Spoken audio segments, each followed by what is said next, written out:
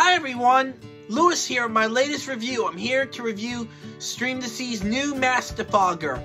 During my third trip with Diveheart, I used it and it was a success. When I'm back at the Adventure Aquarium and everywhere I dive next year, this is coming with me. If you like this video, please hit the like button. Be sure to subscribe to my channel and hit the bell for alerts when I upload new content to the channel, especially those with disabilities similar to mine.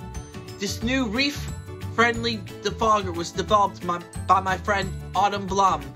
This mask defogger can also be used on safety, ski, sport, masks, and more. To apply, use a small amount, then use your finger to rub completely over the lens. Then add a small amount of water.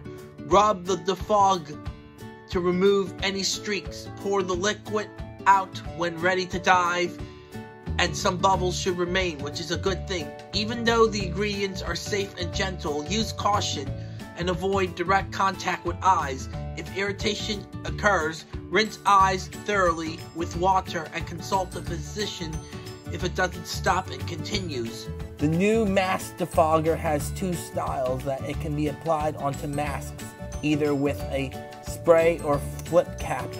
With the spray variant, it can be sprayed onto lenses. With the flip cap variant, you put drops on it. But of course, after you use either variant, you have to rub it on there and then rinse it off.